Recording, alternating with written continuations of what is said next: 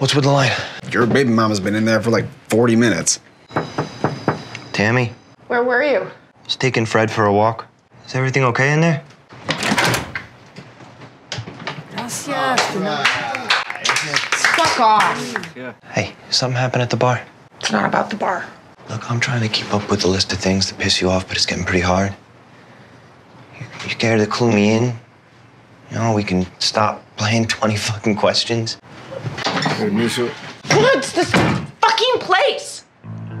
It's it's always crawling with relatives or convicts that Ian brought home or large Latino families that Carl brought home or like whatever Frank brought home and I you know I can't breathe here and I need space. Fred needs space. Hey, All right,